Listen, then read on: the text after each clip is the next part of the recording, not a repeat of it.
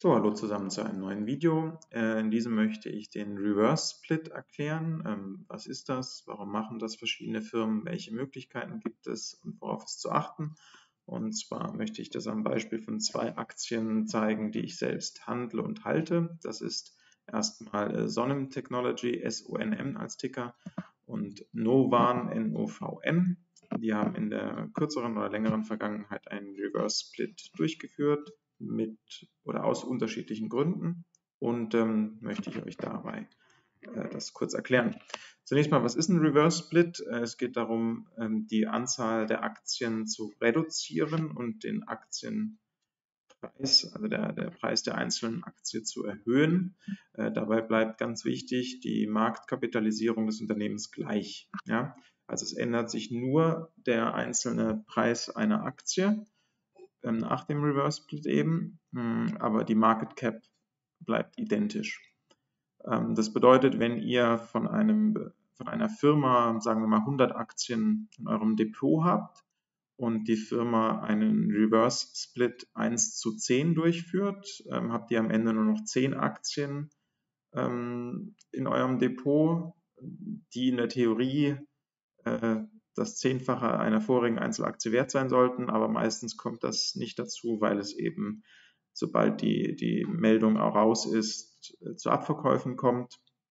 Deswegen sind Reverse Splits generell so ein ähm, zweischneidiges Thema, ob man drin bleibt oder nicht.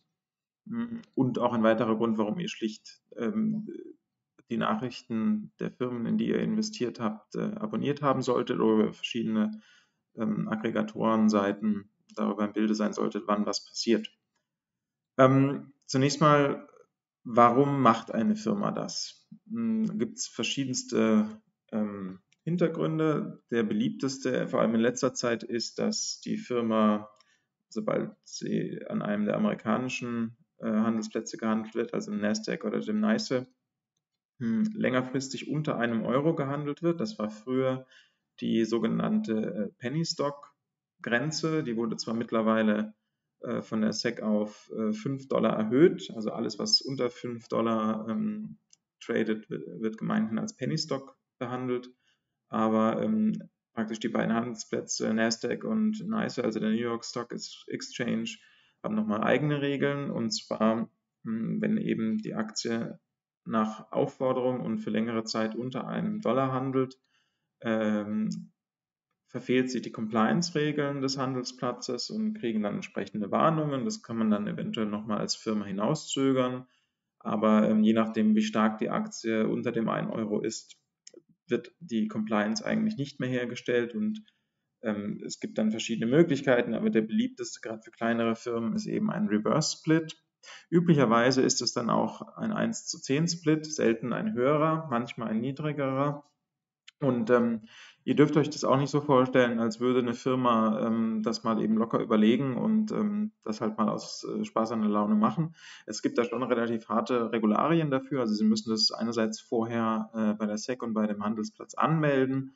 Ähm, dann werden auch alle Zahlen geprüft. Also Sie müssen Ihre Zahlen äh, auch nochmal offenlegen und zur Überprüfung geben.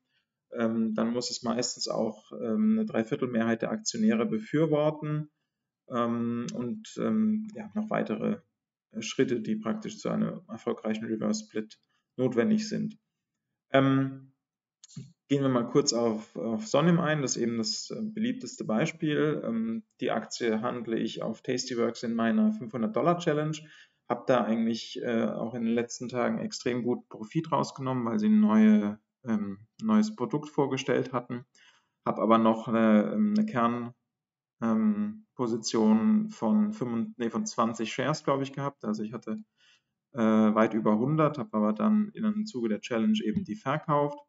Und äh, mein Einstiegspreis war, glaube ich, 52 Cent, nee, 42 Cent.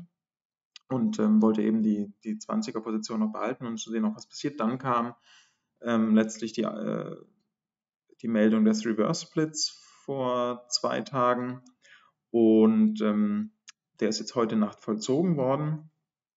Und wie wir hier praktisch sehen, gibt es ähm, auch darauf eigentlich die entsprechende Reaktion. Also wir haben hier einen massiven Drop. Es gab eben den schönen Spike, wo ich einen Großteil meiner, äh, meiner Position verkauft habe. Davor haben wir sie auch schon mal gehandelt, da waren wir hier, also sie war noch mal über einem Dollar. Und ähm, TradingView ist jetzt noch nicht aktualisiert. Gestern gab es da noch mal einen kleinen Push und ich habe mich entschlossen, in der Position drin zu bleiben, ähm, weil es einerseits eh in der, in der 500er Challenge ist. Ich habe extrem guten Profit äh, in dem Rahmen mit den bisherigen Shares gemacht und ich glaube weiterhin an die Firma. Und ähm, man weiß nie, was bei dem Reverse Split passiert. Generell ist es wahrscheinlich schon sinnvoll, dass man rausgeht, wenn man schnell genug davon erfährt. Allerdings wurde ähm, in dem Fall praktisch die Nachricht ähm, Dienstagnacht nach äh, Trading-Öffnungszeiten bekannt und ähm, ich zumindest auf Tastyworks konnte da nicht mehr handeln. Das war schon zu spät. Manche Broker können noch länger handeln. Und in der Nacht ist ähm, die Aktie dann schon um 30 Prozent gefallen. Und als ich dann erst nachmittags oder vormittags wieder handeln konnte, waren wir irgendwie immer noch bei 35 minus. Und ähm, da bin ich ganz ehrlich, da war ich nicht mehr bereit zu verkaufen, weil ich eben an die Fundamentaldaten der Firma glaube.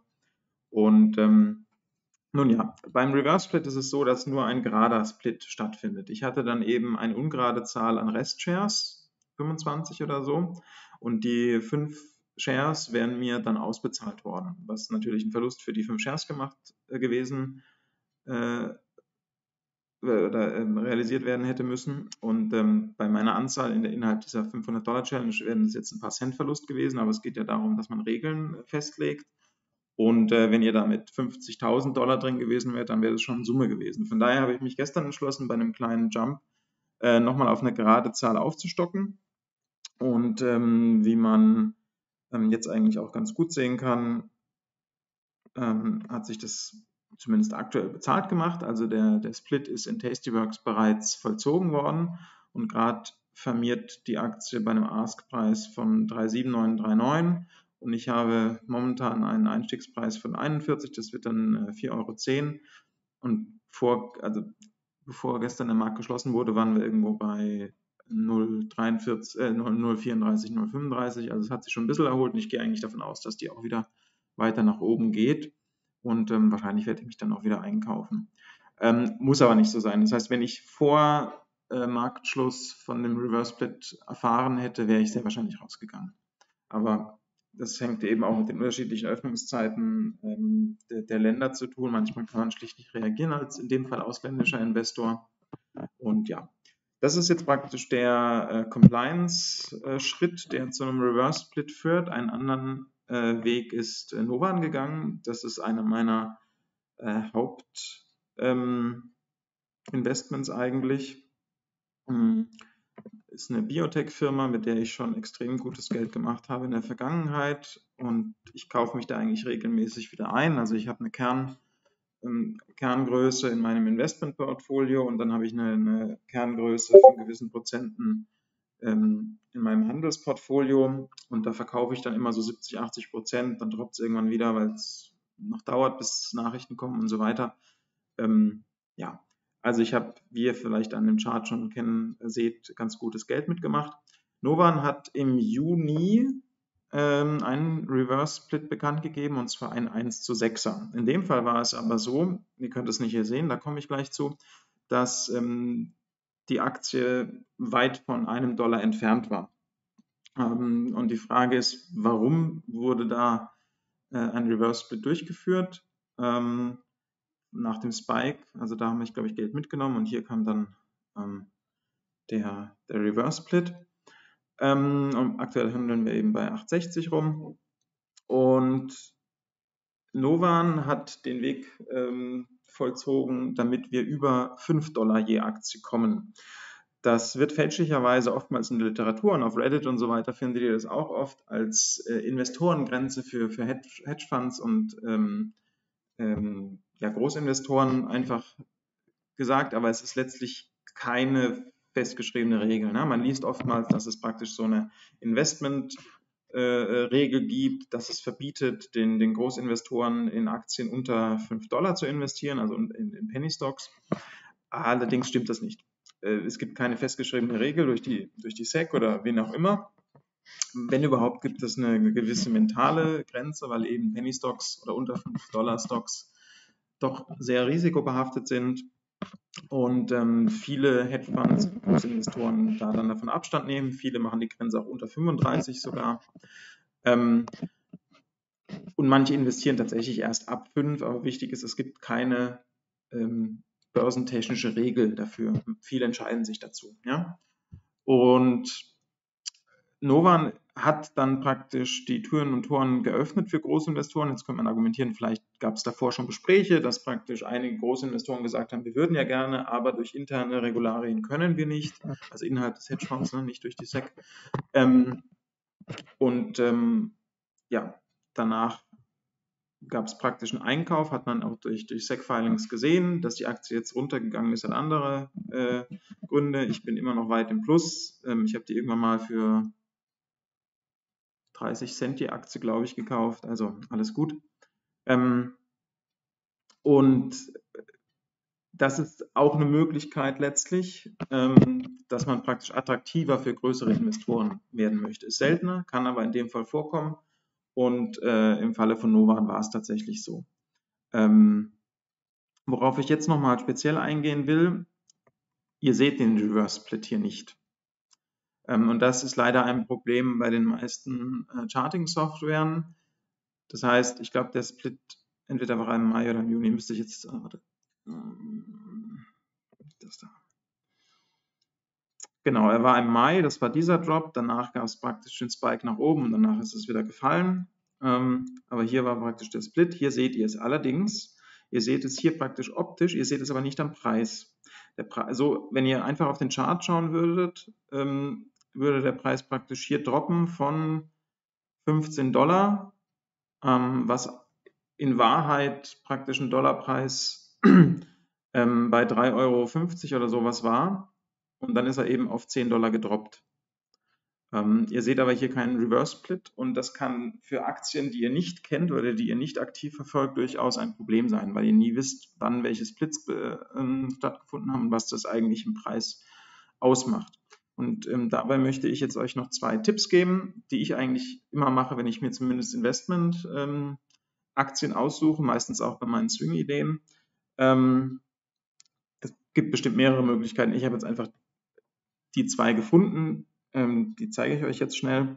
Ähm, wichtig, ich habe mit beiden Webseiten nichts zu tun. Ich zahle auch nicht für die. Äh, ich habe sie einfach gefunden und es funktioniert. Punkt. Ähm, und zwar haben wir einmal äh, Stockcharts. Ähm, hier seht ihr auch den gleichen Chart, den wir bei TradingView gesehen haben.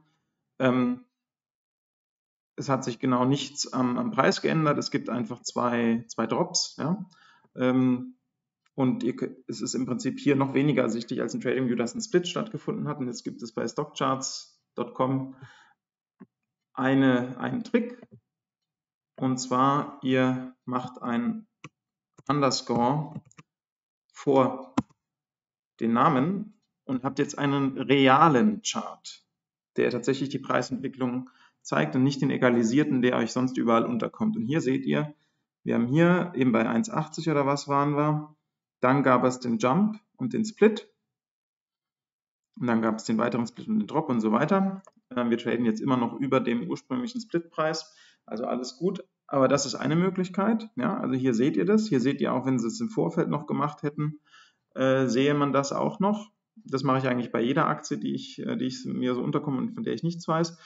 Und äh, wenn ihr auf tradesignalonline.com Chart geht, wie gesagt, ich nutze bei beiden Seiten sonst überhaupt nichts. Ähm, aber die haben das praktisch auch direkt mit integriert. Also hier seht ihr es auch.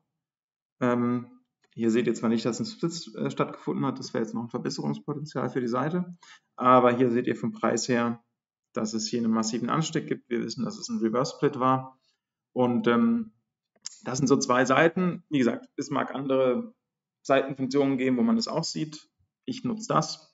Ähm, und auch wieder, ne, kaufe von denen sonst nichts. Ich nutze die kostenlose Version, also nicht irgendwo blind draufklicken, ich möchte das nutzen, ihr zahlt was dafür bitte. Ähm, wo ich mir praktisch so Gewissheit verschaffe, ob es da irgendwas in der Vergangenheit gegeb gegeben hat. Ähm, ich werde wahrscheinlich jetzt in der nächsten Zukunft nochmal ein Video zum, äh, zum Split machen, also dem genauen entgegengesetzten, also dass aus einer Aktie, die ihr besitzt, mehrere werden. Und ähm, dann vielleicht auch noch was zu Penny Stocks allgemein, wäre vielleicht nicht schlecht.